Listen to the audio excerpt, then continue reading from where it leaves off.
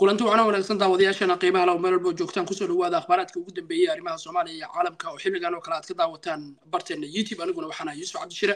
barnaamijka waxaa igala qaybgelaya saaxiibkii cabdullahi daacad oo kusugan magaalada muqdisho waxaanan inta badan barnaamijkeena diiradda ku saarnaa wararkii ugu dambeeyey ee gudaha waddanka iyo dhacdooyinka aan u aragno inay yihiin kuwa ugu hadalaa inta badan waxaan isku xasuusinayaa haddii ay tahay markii ugu horreysay aad soo booqato barteena youtube inaad subscribe noo saarto si aad mar walba ula socotaan wararka iyo barnaamijyada cusub ee aan halkan kusoo gudbino inta badan barnaamijkeenna waxaan kaga hadli doonaa caawa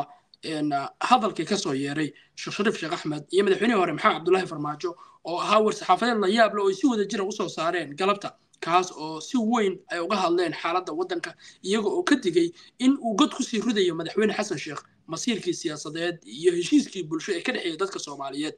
War-saxaafadeedkooda ayay ku caddeeyeen inaysan qayb ka ahayn wax kabeddelka lagu samaynayo dastuurka iyagoo sheegay in madaxweynaha ay kala quusteen inay arrintaasi wax kabeddelka dastuurka ay ka hakiyaan. Sidoo kale waxaan barnaamijkan ku soo qaadan doonaa hay'adda lacagta adduunka oo mar kale uga digaysa iyo bankiga adduunkuba xaaladda dhaqaale ee soomaaliya iyagoo sheegaya in wixii la xiriira musuq maasuq ay dowladda soomaaliya ku mutaysan karto ganaxyo culus waxayna xilligan uga digayaan inay soo celiyaan xisaab celintii looga baahnaa ee laga rabay dowladda soomaaliya oo ay sheegayaan in muddo gaaban gudaed haddii aysan helin ay tallaabooyin cadcad ka qaadayaan dowladda soomaaliya haddaba maxaa isbedelay tan iyo dowladdii hore xaaladda dhaqaalaha ee soomaaliya ayaan sidoo kale eegi doonaa barnaamijka waxaa igala qaybgelaya cabdullahi daacad oo magaalada muqdisho ku sugan cabdullahi soo dhawo maxaa ugu dambeeyey akhbaaraadka gudaha ee waddanka aadaa u mahadsan tahay yuusuf adiga iyo sidoo kale daawadayaashana waan idin salaamayay dabcan wararka hadda ugu waaweyn waxaa ka mid ah warka dabcan dheer ee ay soo saareen shariif sheekh axmed iyo sidoo kale maxamed cabdullaahi farmaajo. Warkan runtii yuusuf wuxuu noqday mid saameyn weyn yeeshay iyada oo saacadihii ugu dambeeyey dabcan kulanka beri la rajeynayo inuu dhaco. Dabcan ay ka dhiman yihiin inkastoo weli fariin rasmi ah aanan warbaahinta loo soo dirin yuusuf oo baarlamaanka inuu beri shirayo. Haddana waxay u badan tahay in kulanka baarlamaanka uu dhici doono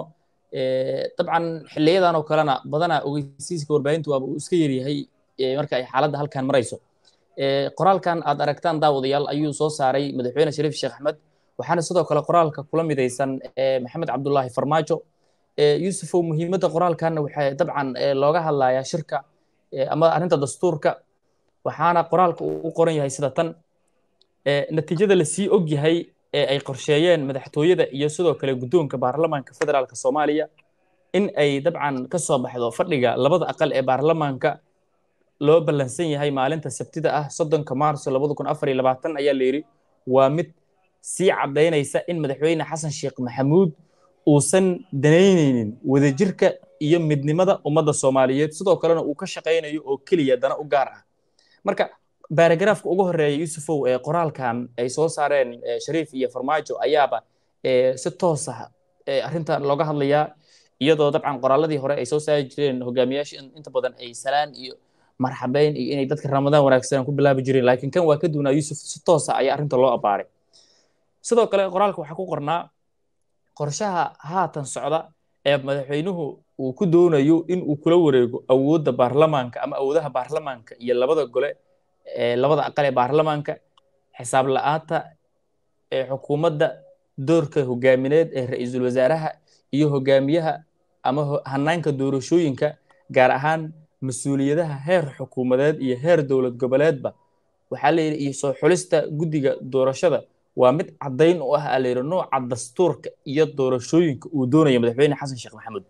Marka qodobo dhowraha yuusuf meeshan ka dhex muuqda oo mucaaradka ay weliba aad uga fikirayaan doorashada soo socota qaabka madaxweyne xasan sheekh maxamuud uu rabo inuu wax u maamulo. Sidoo kale mucaaradku waxay muujinayaan yuusuf inay dabcan leeyihiin awoodda oo dhan baarlamanku waa ay luminayaan. Qoraalkan sidoo kale waxaa jira yuusufow qoraal kale oo uu daqiiqado ka hor isaguna soo saaray taliyihii hore ee hay'adda nabad sugidda iyo sirdoonka qaranka ee soomaaliya fahad yaasiin xaaji daahir. Dabcan fahad yaasiin isaguna wuxuu ka hadlayaa arrintan isaga oo weliba muujinaya in arrinta dastuurka ay weli tahay mid xilligan aysan ahayn dowladdu inay ku degdegto. Fahad yaasiin qoraalka uu soo saaray ayaa sidoo kale saameyn kale u yeeli karaa dooda dastuurka oo weli mucaaradka ay si weyn uga hadlayaan yuusuf.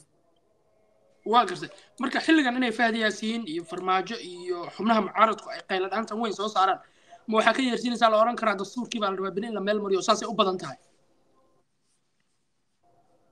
Dan maalinta berri toole ah dhowr qof ama dhowr mas'uul oo dhinaca xubnaha mucaaradka ah yuusufow marka la fiirsho hadallada laga hayo waxay u egtahay inay wax badan og yihiin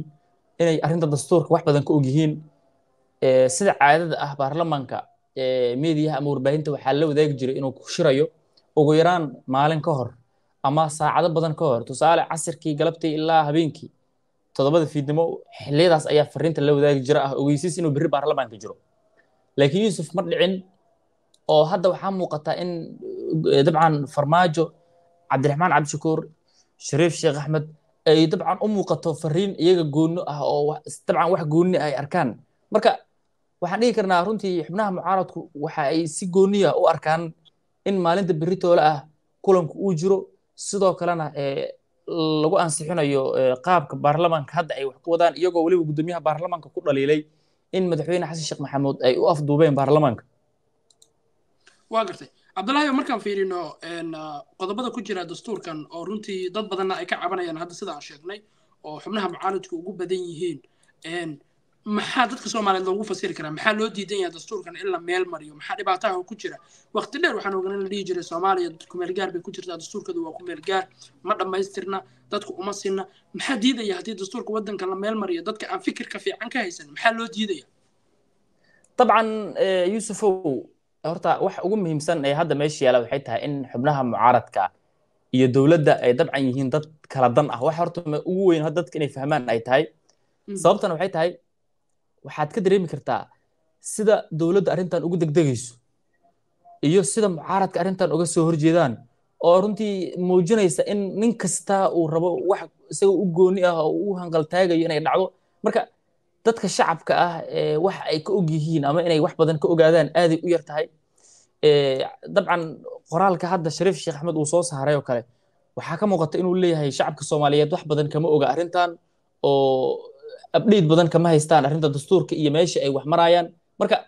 si guud waxaan dhigi karnaa runtii arrinta dastuurka labada dhinac way isku hayaan laakiin waxaan arki doonaa bal meesha xaqiiqada dhabta ay ku dambayn doonto. Laakiin mucaaradku waxay si weyn ugu dhaliilayaan arrintan guddoomiyaha baarlamaanka aadan maxamed nuur madoobe iyaga oo dabcan mucaaradka ay leeyihiin dowladda isaga ayaa arrintan u afduubay oo dabcan gacanta u gelinaya. Mucaaradku dhaliil weyn ayay dhinaca guddoonka ka muujinayaan. Weliba waxay leeyihiin labada gole ee baarlamaanka iyaga oo arrintan si ka la'aan u gelayo ayay go'aankan rabaan inay ansixiyaan. Marka runtii doodda aad u weyn ayay dabcan ama si aada ayay u taagan tahay iyada oo si aada weli isugu hayo waxaana dhihi karnaa weli faanole fari kama qodna. Waa gartay cabdullaahiyow waxyaabaha sida weyn loo hadalhayo xubnaha mucaaradkuna ay ka cabsida qabaan waxaa ka mid a waqtigan sidii hore u dhacday dowladda dowladdan ka horreysay waqtiyo badan baa dhacday in arrintan wax ka beddelka dastuurka hadda marka la samaynayo xitaa haddii la waayo tiro xildhibaanaha oo ku filan baarlamaanka oo fadhiga sabtida oo soddonka bishoo beriya in la qorsheynayo xitaa in gacanta la iska taago oo la yidhaahdo wax ka beddelkii dastuurka waa samaynay iyadoo tiradii loo baahnaa xitaa aan la helin. Taasi suurtagal ma tahay berri inay dhacdo iyadoo kooramka uusan buuxsamayn in la iska yidhaahdo waa ansixinay cutubka labaad ee wax ka beddelka dastuurka. Dabcan yuusuf sida muuqata hadda muuqaalkan dadka ay daawanayaan waxaa la soo geliyey bogga rasmiga ah ee golaha shacabka dabcan guddoonka baarlamaanka waxaa muuqata inuu isagu aad ugu ololeynayo arrintan sidoo kalena uu muujinayo in weliba arrintan la soo dedejiyo oo yuusufoo la boobsiiyo. Marka waxaan dhihi karnaa si arrintan dastuurka buuqeeda waa u taagan yahay oo sina kuma soconayso sina way ku soconaysaa oo haddii dowladda sidii xilligii farmaajo sidii wax loo maamuli jiray oo kale ay dhacdo oo lagaa barto lagaa badi ay dhacdo yuusuf sida in waxaan ognahay sharciyo badan oo xilligaas la baasgareeyey sida ay ku dhaceen iyada oo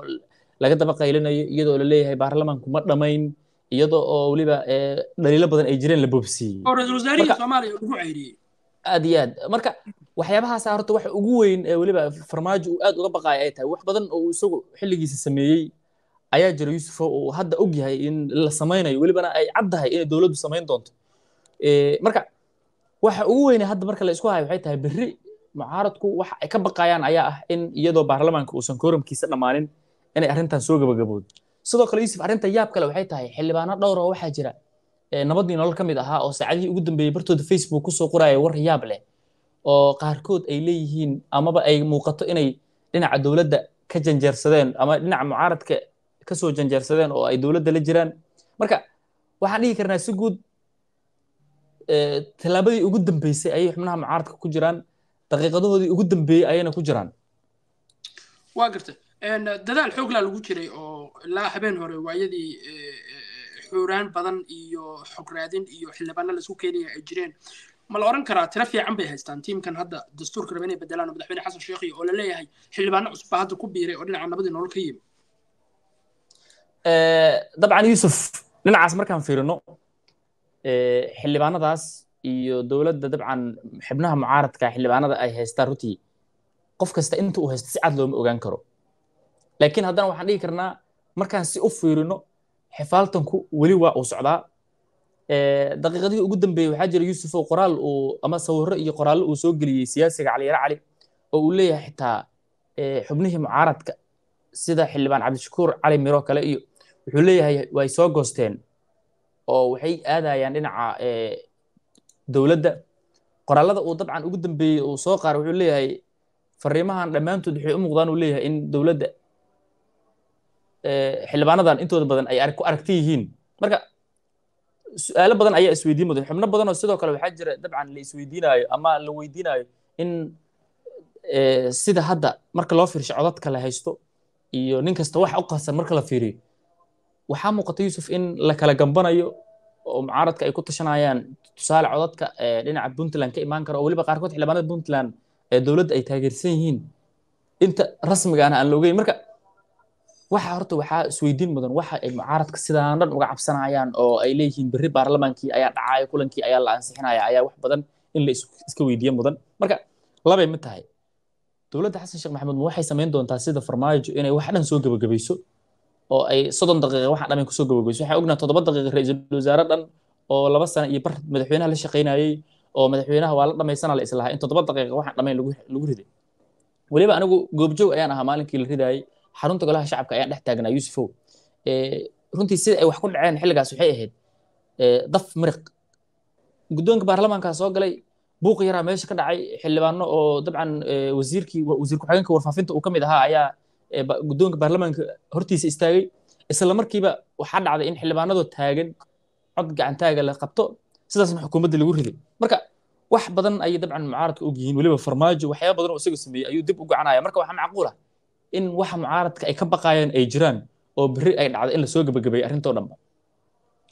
waa maasanta cabdulaahi wixii ku soo kordha wararka iyo barnaamijyadeena dambe ayaan si faahfaahsan ugu falanqayn doonaa daawadayaal qodobkaasi ku saabsan arrinta wax kabeddelka dastuurka oo hadda meel xasaasiya maraysa magaalada muqdisho iyo guud ahaan soomaaliyana ee ah qodobka ugu weyn ee siyaasadeed ee maanta ka taagan oo ku saabsan wax kabeddelidda dastuurka. Qodobada ugu waaweyn ee ay suuragalka tahay wax iska bedelaan waxaa ka mid ah haddii berri la meel mariyo in awoodda ra'isul wasaaraha ay meesha ka baxayso oo waddanku uu noqon doono qaab ee madaxtooyo laga maamulo oo madaxweynuhu soo magacaabo golihiisa wasiirada ra'isul wasaarihiina uu iska noqdo bulshada sango maqaarsaar ah sida la sheego ama lagu eedeynayo dowladda hadda oo la leeyahay wuxuu noqon doonaa qof aan awood lahayn oo madaxweynaha dhinaciisa ka yimaada oo uu magacaabo maalintuu rabana xilka uu ka qaadi karo marka qodobadaasa ugu weyn oo codkibka labaad ee dastuurka wax laga bedelaya hadda ka mida waxyaabaha ugu badan ee laga doodayana ugu weyn waktigan cabdullahi arrintaas dastuurka intaasaan uga gudbi doonaa iyo qodobada ku jira haddii alla idmo waxaa jira war ku saabsan digniin loo jeedinaya dowladda soomaaliya oo la leeyahay waa inaad xisaab celin deg dega soo samaysaan. Oo haddii aynan soo samayna tallaabooyin ayaa deg dega ayaa laga qaadi doonaa dowladda soomaaliya. Maxay salka ku hayaan baaqyadaasi bangiga adduunka ayaa markii ugu horreysay isaga oo weliba luqad adag ku hadlaya waxa uu farriin u diray dowladda federaalka ah ee soomaaliya iyadoo farriintan ahayd yuusuf oo mid qoraal ah. Waxaana loo diray xubnaha dhaqaalaha ee dhinaca dhaqaalaha ka shaqeeya ee bangiyada oo kale ama bangiga dhexe qoraalka bangiga adduunka oo dabcan u muuqday mid aad iyo aad u kulul waxaa xubnaha dowladda lagu wargeliyey in xisaab xirka dhaqaalihii bangiga ka baxayey la soo la soo gudbiyo. Bangigu wuxuu leeyahay in muddo ah lama soo gudbin wixii dabcan xisaab xir ahaa ee dabcan dowladda federaalka ah ee soomaaliya looga baahnaa. Xisaab xirka ayaa muddooyinkii ugu la soo dhaafo dhanba ahaa kuwo dowladda marba ay xilliyo codsanaysa. Markii ugu dambeysay oo ay codsi darsato dowladda waxay codsatay in sagaal bilood dib loo dhigo muddo sagaal biloodana fursad la siiyey si ay xisaab xirka rasmiga u soo gudbiso. Laakiin hal sano ayaa ka soo wareegtay yuusufo sagaalkii bilood waxaa ku darsantay hal sano. Labada kun iyo laba iyo labaatankii bishii december soddon iyo kowdeedii ayay ahayd xilligii ay dabcan sagaalka bilood codsanaysay sannadkii labada kun saddex iyo labaatankii oo dhan ayaa dabcan ay fursad haysata dowladda wax xisaab xirana ma samayn arrintaas waxay keentay marka in bangigu saddex maalin oo keliya uu u qabtay dowladda. Haddii marka saddex maalin xisaab xirkii sanad ay dowladdu ku sameyn weyse ay samayn weydo maxaa dhacaya? Kow mashaariicda qorshaysan ayuu bangigu joojin doonaa. Labo wuxuu joojin doonaa wada xaajoodka ama wada shaqaynta dowladda federaalka ah ee soomaaliya kala dhexaysa sidoo kale wuxuu xanibi doonaa waxyaabihii u qorshaysnaa dowladda ee dhinaca dhaqaalaha bisha abril ee sanadkan. Marka runtii dhaawac weyn ayay arrintaas noqonaysaa iyada oo si deg dega ay dabcan xubnaha dhaqaalahu arrintan fariin weyn ugu noqotay. Sidoo kale yuusuf xilligan oo kale waa xilli weliba dowladda ay aad iyo aad muhiim ugu tahay inay xiriirka dibadda gaar ahaan bangiga caalamiga oo kale ama bangiga adduunka oo kale ay cilaaqaadkiisa adkayso.